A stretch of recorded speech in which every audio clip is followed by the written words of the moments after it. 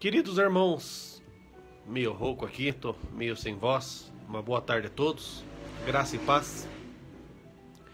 Hoje eu quero falar um pouquinho do meu acervo, quero falar um pouquinho dos livros que eu tenho, quero mostrar documentos. E então bater um papo aqui com vocês referente às matérias da onde tirei para fazer meu livro, as traduções, né? As traduções onde eu tirei para fazer os livros.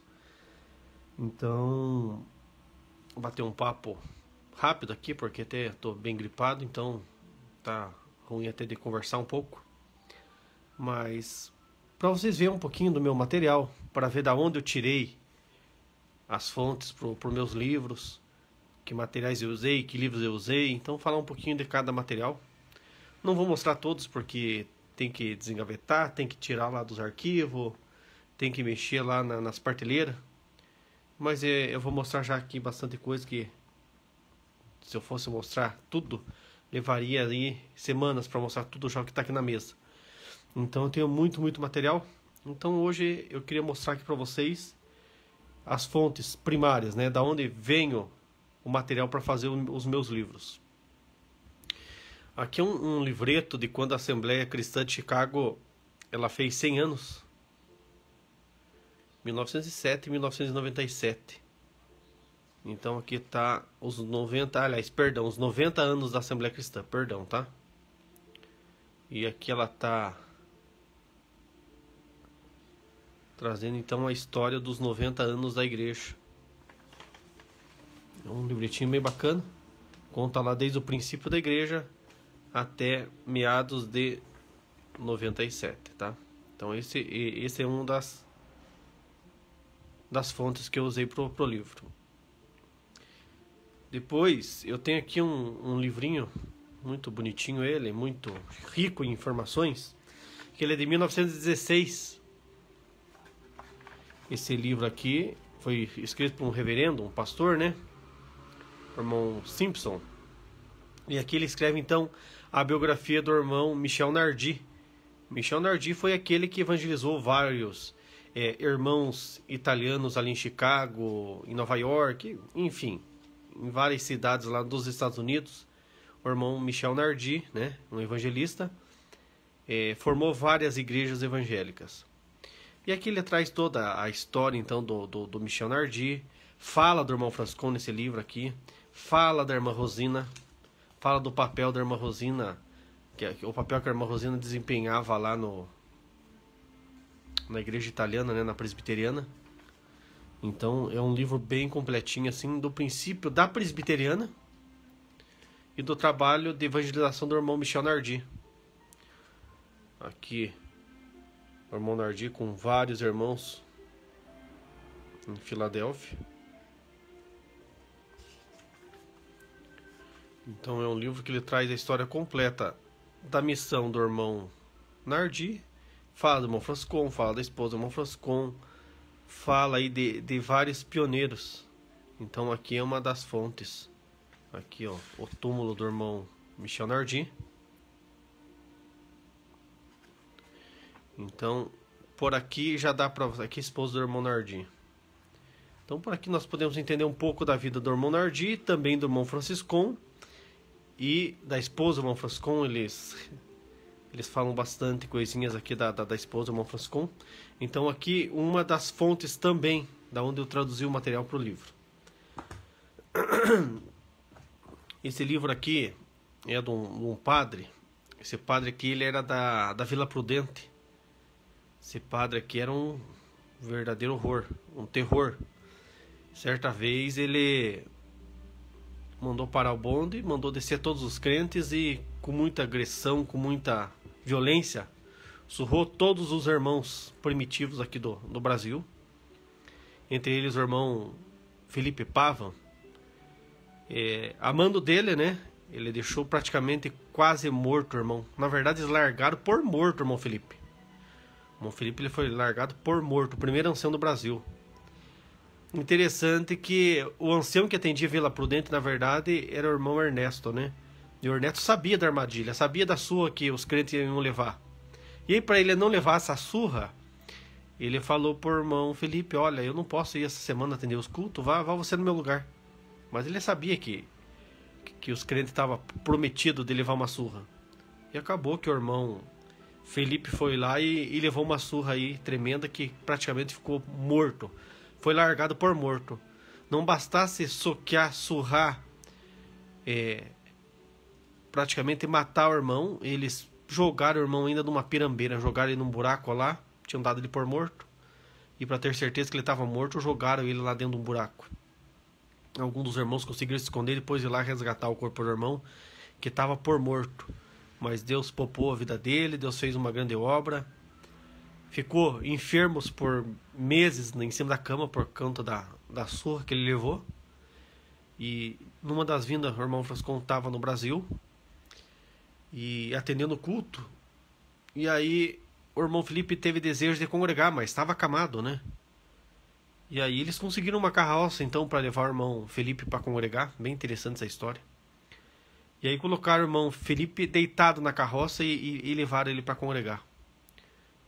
O irmão Francisco estava atendendo o culto, chegou na hora do culto lá, Deus libertou o irmão Felipe e acabou que o irmão Felipe acabou pregando naquele dia lá. Então aqui vai contar da vida desse padre aqui que fez muita maldade, tem muita entrevista, tem muita jornais que fala da, da crueldade desse padre aqui.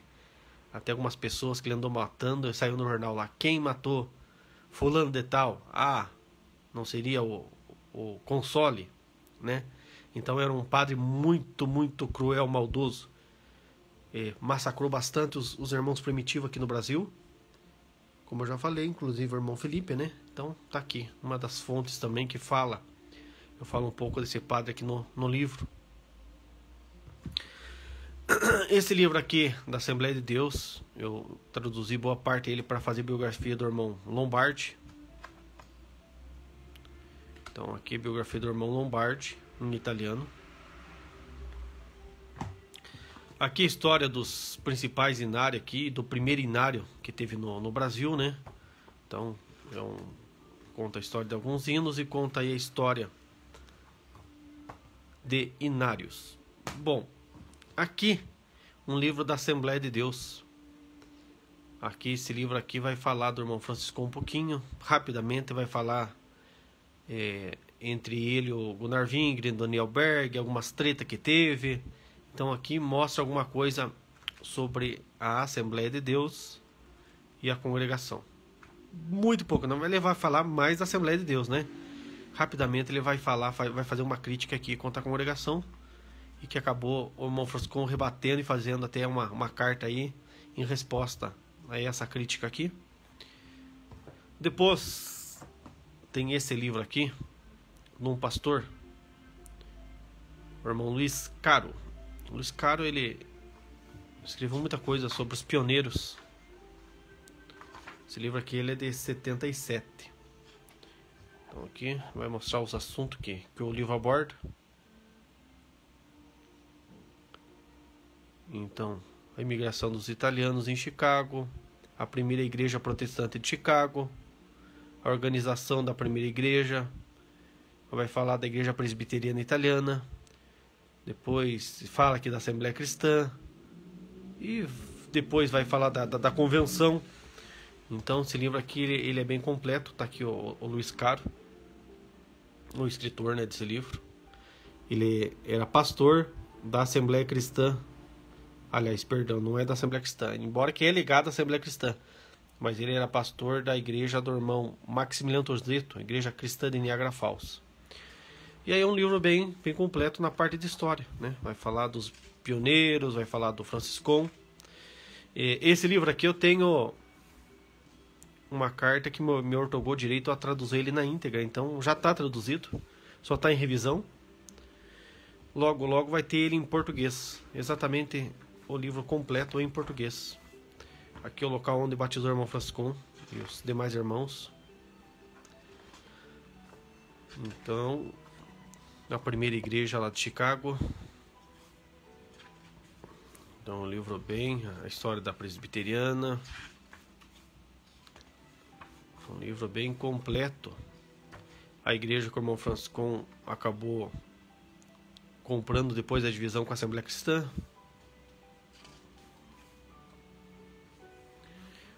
Então é um livro bem, bem, bem completinho, né? Aqui então vai falar de muitas coisas sobre os primitivos lá de de Chicago. Depois nós temos aqui o livro dos 50 anos da aqui é uma convenção, tá? Não é o nome de uma igreja. Aqui é o aniversário dos 50 anos da Congregação Cristã da América do Norte, mas aqui é uma convenção, que hoje ela atende pelo nome de é, Associação Internacional das Assembleias Cristãs.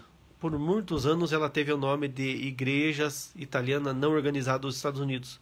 Depois ela passou por esse nome aqui e atualmente ela corresponde por, ela responde, né, por é, Associação das Assembleias Cristãs Internacionais. Então aqui é um livro que ele vem lá falando das convenções, ele vem de 1927 a 1977, então uns 50 anos da convenção.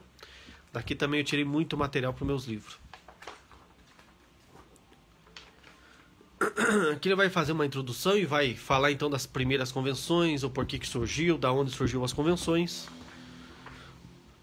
Vai trazer vários pioneiros, vários irmãos diretores, vários irmãos do ministério lá do, do, dos Estados Unidos, vários irmãos companheiros da, da época do irmão Franciscon.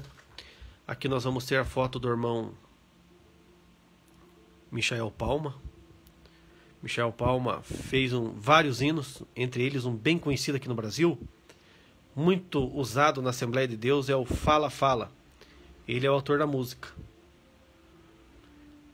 E aí o autor da letra é o irmão Maximiliano Tozeto é da letra. E da música é o Michael Palma, esse termão aqui, né? Ancião faleceu na Assembleia Cristã de Siracusa.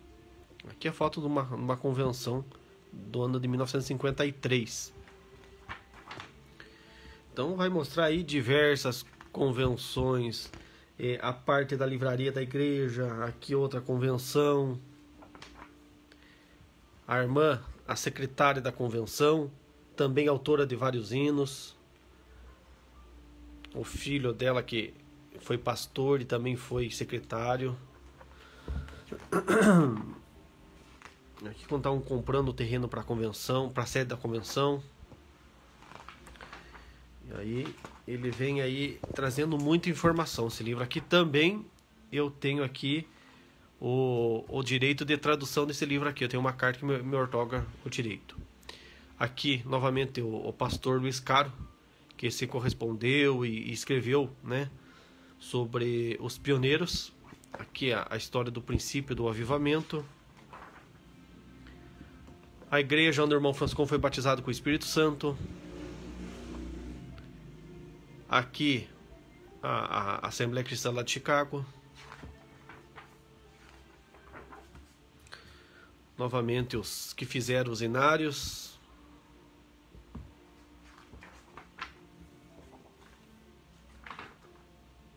Então, vários irmãos primitivos.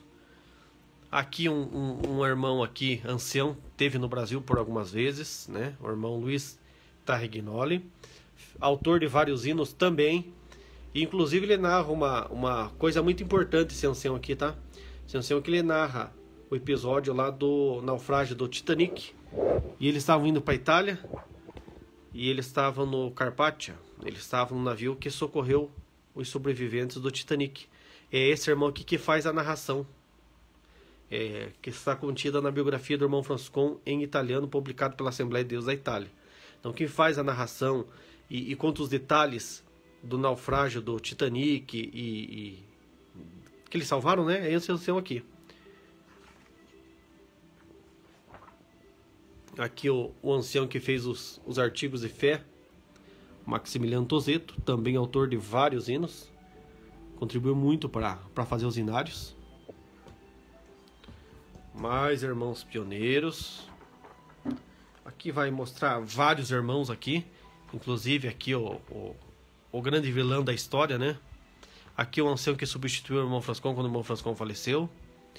E esse aqui eu já falei num vídeo sobre ele, né? Ele foi um dos grandes vilões da história. Pediu para o irmão Francisco renomear a igreja, refundar uma igreja para poder dividir o, o, patrimônio da igreja de Chicago e, e, ele acabou então passando a perna no Francisco. Com muita luta, com muita dificuldade, o irmão Francisco conseguiu requerer então e conseguir a parte dele. Aqui o irmão Franciscon, demais companheiros. Aqui o irmão Giuseppe Petrelli, que também teve aí a treta sobre a questão do, do de Jerusalém. Este foi o grande vilão, na verdade, né? O Pietro Meccone. Foi o grande pivô de tudo junto com, com o irmão Franciscon. O irmão Giuseppe Petrelli, ele entra para consertar e, e acaba dando uma estragadinha um pouco mais. Só que por fim eles se perdoaram. Tem livros aqui que contam sobre o episódio da reconciliação entre o Franciscon e o Giuseppe Petrelli. Petrelli ele foi um grande missionário na Itália, na Argentina e no Brasil ele teve por várias vezes também. É que no Brasil se fala muito em Franciscon, mas se você olhar aqui no princípio, no, no, nos livros, no, nos históricos e cartas, nós vamos encontrar vários missionários que veio para o Brasil. Não foi só o Franciscon. Tem vários irmãos missionários. Né? O Franciscon foi um grande missionário no Brasil, mas não foi o único. Aqui algumas igrejas americanas, foto de outras convenções. Esse livro aqui, ele dá 400 páginas, se eu não me engano. Eu não vou mostrar tudo.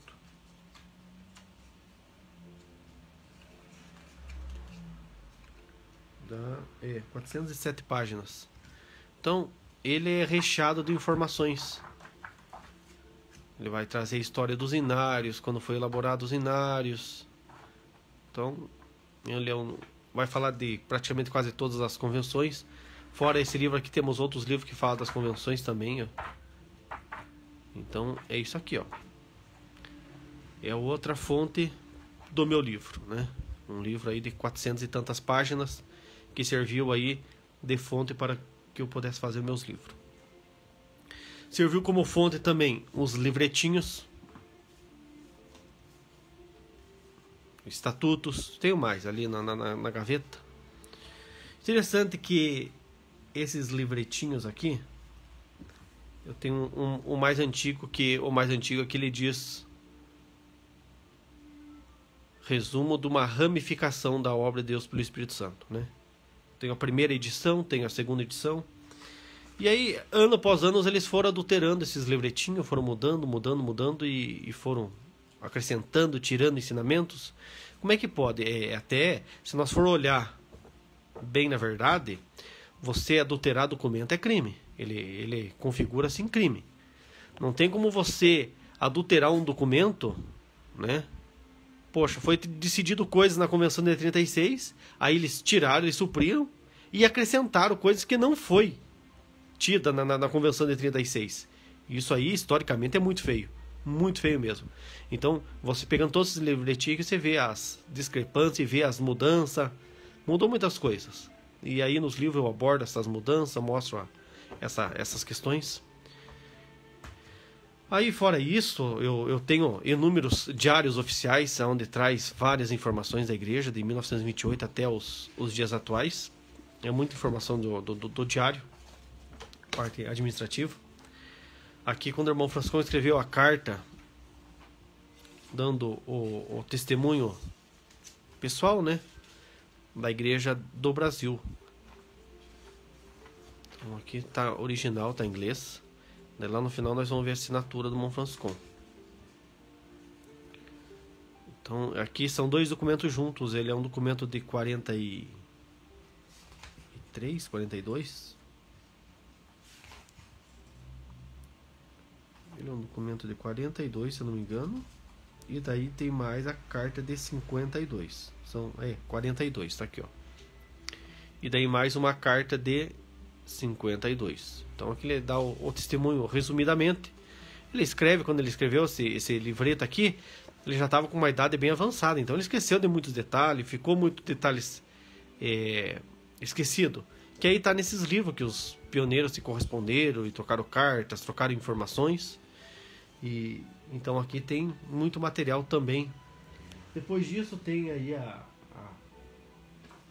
a, a biografia teológica do, do pastor Kay. E o pastor Kay, ele na verdade, o que acontece? Ele pegou todos esses livros que eu estou mostrando para vocês aqui, do Nardi, dos 50 anos, esse outro, e fez aí então a, a tese dele. Então aqui a, a tese do Key traz bastante informações bacana, traz bastante a parte aí da, da divisão da igreja de Chicago, essa biografia que ela já está traduzida para o português. Então tem material aqui, dá 400 e poucas páginas também. É, é cheio de, de, informações. Só que assim, ok, ele não teve uma uma aqui no Brasil, por exemplo, ele deixou muito a desejar porque ele não conseguiu documentos. Pena que ele não me conheceu. Perdão, tá? É força da expressão, mas é teve muitos documentos que ele não conseguiu. Ele conseguiu documentos aí a partir de, de, de 50. É, os livretos que ele pegou da convenção, por exemplo, foram livretos adulterados, não, não correspondendo com os originais. Então ele pegou muito material já que estava adulterado, muito material que não correspondia com o original. Então tem que ver toda essa parte aí, tá? E a biografia dele precisa é, fazer alguns comentários, algumas coisas assim que é, é uma coisa muito boa, mas precisa aí de, de revisão. Mas ela é bem completa, tem muita coisa. Depois da Argentina, eu tenho um material que é muita coisa. Então toda a história da Argentina, os pioneiros da Argentina, como é que começou, como é que foi, como é que não foi. Então, tudo isso aqui da, da, da Argentina, tá? Todo espanhol. Aí, cartas do Franciscon lá no final, tem cartas aos montes do, do, do irmão Franciscon. Então, além de livros, eu tenho cartas e mais carta que remonta a história. Então, cartas aqui escrito a punho e transcrevida pelo irmão Franciscon. Então tem assinatura do Monfrancon ali na, na, nas cartas para Argentina. É cartas e mais cartas. São anos após anos aqui. O, o irmão que teve esse acervo aqui, ele, ele teve o cuidado e o carinho de fotografar todas as cartas, de traduzir elas e guardar até os, os envelopinhos dela. Então é bastante material. Então, tudo, tudo, tudo que eu escrevo foi tradução, foi transcrição de documentos. Não é nada da minha cabeça. Se alguém pensar que eu estou inventando história, se engana quem está pensando. Então eu não estou aqui fazendo que nem certas pessoas que gostam de, de viver no mundo do conto de fadas. E eu comigo não é contos de fato. Comigo é o que está aqui, ó, nos documentos originais, eu transcrevo. Então goste ou não goste, eu sou imparcial. Eu falo a realidade. Realmente eu falo o que está em documentos. Eu não fico é, fazendo achismo, ah, eu, eu, deduzo isso, eu faço aquilo. Não. Eu, eu vou mostrar realmente o que está em documentos. Então, tudo que eu vou falar, eu vou falar para vocês, tudo segundo o que eu achei em documentos. Tudo baseado em documentos, em cartas, né? Aqui é, tem várias cartas de, de, de pioneiros, de missionários, fotos. Então, é, é coisas que não acabam mais. Qualquer dia eu vou mostrar o acervo de fotos para vocês, que tem, tem muitas fotos. Então, é, Bíblias antigas, qualquer dia quero mostrar minhas Bíblias, coleção de Bíblia, meu, meu xodó. Eu gosto muito de Bíblias antigas. Então tem uma coleção bem bonita de Bíblias. Tem a coleção de, de. Então é assim. É, tem um monte de, de, de, de coisas ali no, no, arquivo ainda. Se for querer mostrar para vocês, eu vou ficar o dia inteiro. Eu, eu não, não estou muito bom da garganta, tenho que viajar novamente. Mas eu vim aqui falar um pouquinho então do, do material, para vocês entender da onde saiu o meu material para meus livros. Eu tenho aí praticamente 15 livros. É muito livro, não é não é apenas um livro. Eu tenho muito, muito livro. E aí graças a Deus está vendendo muito, tenho alcançado um público muito bom. E todos os dias recebo mensagem, todo dia às vezes fica até difícil para responder todo mundo na hora. Então, é, me desculpe se eu não respondo na hora às vezes, porque às vezes estou na estrada, às vezes eu estou é, na rodovia, fica difícil de, de responder. Ou senão por falta de tempo mesmo. O trabalho meu é bastante puxado. E também, fora isso, eu tenho a parte da igreja que, que preciso me dedicar, me dedicar bastante à, à parte da igreja. Então, conto até com orações de vocês, preciso bastante oração. Me ajudem nessa parte da oração. E vou gravando, eu vou voltar fazer um vídeo mostrando livro a livro bem passado, mostrando detalhes de cada livro. Então, a cada dia que, que passar, eu vou trazendo um detalhe para vocês. Tem muita coisa para se falar, tem muita coisa para